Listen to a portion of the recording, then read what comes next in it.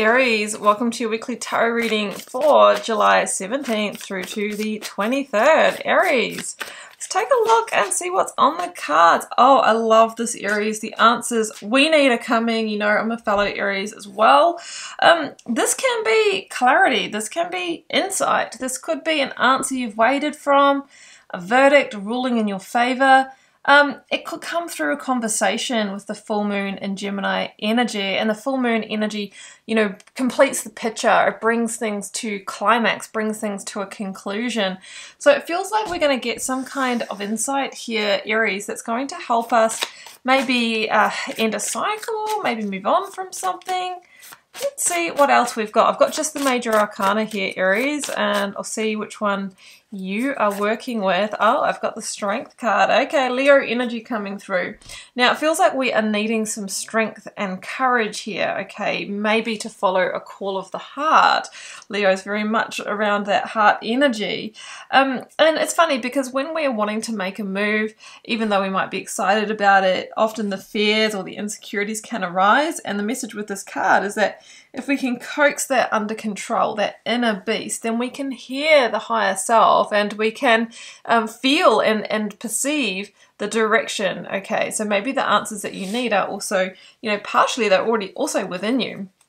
All right, Aries, let's get the cards out. Now, I've been having a bit of a rant this week, some of you may have already watched my videos from last night. And that is that I recently took one week off, guys, one week. Uh, I take a week off usually only once a year. I have done it uh, over Christmas time and then just last uh, two weeks ago. And before that, I posted less content because I was burnt out from a huge festival that I took part of.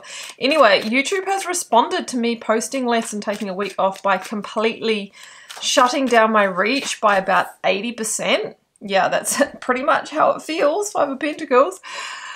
And, um, and of course, that with that, the income and everything. But that's my point's not the money. It's, it's the fact that it's so unsustainable to build something like this, if you take a week off when you have to completely rebuild, and the rebuild build phase, guys, can be, um, from my uh, experience, one or two months, and financially, no one can survive that if you're doing this full time like me. So please do like, share, and comment because I don't know if you, you know, Aries, but reach is completely determined on YouTube by engagement. So people just sit quietly and watch but they don't engage, that's just basically not not helping this content stay, you know, stay up here. And if you if you haven't subscribed yet, please do. And I just really appreciate that.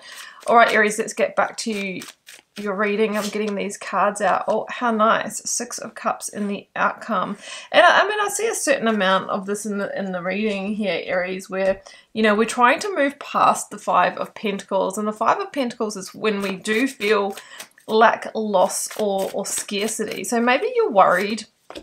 Oh, look at that. And you got the polar opposite clarifying at the Empress. Like, there is a genuine fear here about losing money, about losing stability or a home or an asset or an investment, or maybe you've already gone through a loss. And if so, I'm very sorry to hear that, Aries. You know, know that I'm on this journey with you. But it's funny how the Empress often comes through in your reading, and I think this is your natural state of being, Aries.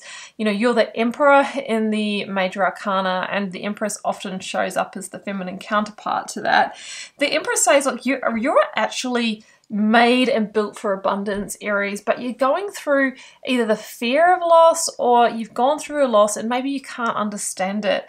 But the Empress says you can recover from this, you can get that growth back, okay? The Empress is an incredible energy when it comes to money and abundance. She is growth, like beyond your wildest dreams growth. Now, the answers you need are coming, and it feels like, you know, you're going to get some kind of insight or some kind of communication that is going to allow you to move back into the abundance zone. King of Swords, that's the insight right there. Now, Aquarius energy, I got Sagittarius with the Temperance energy. Now this is the challenge position, Aries.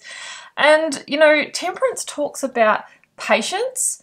It talks about timing and aligning of the right conditions in order to move forward, King of Swords, okay, in order to transform your situation. So we've got you feeling like there's not enough or you've gone through a loss. Now, Spirit is saying, with Temperance being in the challenge position, that it's not quite the right time and you'll need to be patient and tread water for a little bit longer but that it's coming, that the shift is coming. Okay. Now the King of Swords is asking you to see the bigger picture, and that's one of the the messages here of the of the Five of Pentacles. That you can see how these people are definitely in a state of lack or loss, but they're actually passing the church, passing the Hierophant here, and if they uh, had their eyes, you know, peeled here, they could see that and maybe go in there for the night and get what they need. But they're so consumed by this loss and this lack and the misery that comes with it, and they're on that downward spiral that they they don't see the opportunities that are right in front of them. So Aries, Spirit is saying, make sure that you see the big picture and see that this is just a moment that you are going through. And it feels like with some patience, a little bit of treading water, and some strategic moves, you can move towards the Empress. And the Empress is also about, you know, moving towards a greater dream here as well. So there could be something here that, you know, that can help you. Might even be an entrepreneurial activity here with the Empress that can help you move forward when it comes to your abundance.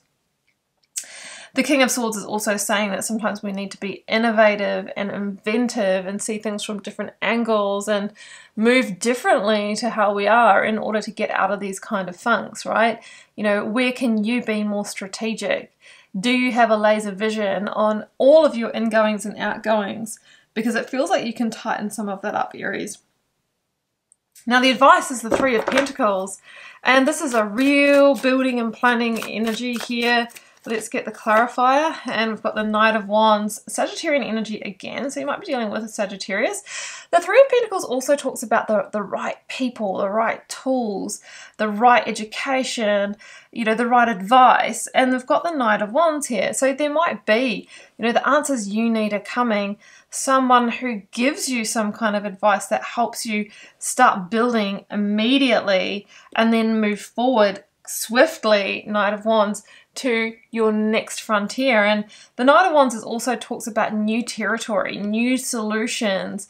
So I feel like there's something here that can help you that maybe you haven't considered, okay? And it could be, well, I need help from others, or I need to invite help, I need to uh, collaborate with others, because temperance and, and this next to each other are saying to me that there's uh, maybe an ingredient, whether it's an asset, a resource, a person, um, or some knowledge that's yet to come in that is going to be what gets things moving and growing. And it's interesting that the Six of Cups is in the outcome because that does talk about, you know, friendship and connection and maybe somebody like from your past or somebody that you already know that helps you out, that lends a hand, okay? But ultimately, the Six of Cups outside of that meaning is growth, is emotional happiness, you know, is getting back to being able to like literally smell the the roses because we are out of the survival the survival feeling here, the fight or flight. And I've clarified that with the lovers, and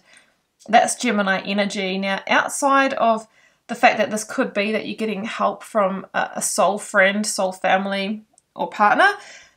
The lovers is about things coming into balance. Notice the number six energy repeated here. It's about perfect balance, perfect harmony. So I feel like there's some insight, some help, a resource, an asset coming in that's going to be the perfect balance that you need to get back on the road to abundance.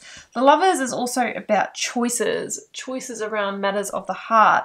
Coming back to the King of Swords, I think there might be some decisions that you're needing to make. There might be things that you need to let go of that are, you know, that are taking your financial resources or costing you too much and you're being asked to have the strength and courage to not only see that but take the action in alignment. And i think if you you know take this approach and king of swords like see with laser vision and see the big picture and you know make sure that you are looking at things from a future perspective not just fighting fires in the meantime um, that you really can get into the three of pentacles energy which is I'm laying the foundation for the future. And once you have that right, I think everything is going to build from there. The Empress is with you, Aries, and she says, You can get back to abundance. Let's make this happen. So Aries, I'm going to leave it there. I hope you enjoyed this message. Um, if you'd like a personal reading, please do follow the first link down below to my website and check those out. And do come across to Instagram for daily readings. I'm loving it over there. I'm getting a bit more traction and love on that platform, so that's where I'm putting my energy. Um, and also don't forget to like, share, comment, or subscribe on your way out. I'd appreciate it. Wishing you all the love and magic. Bye for now.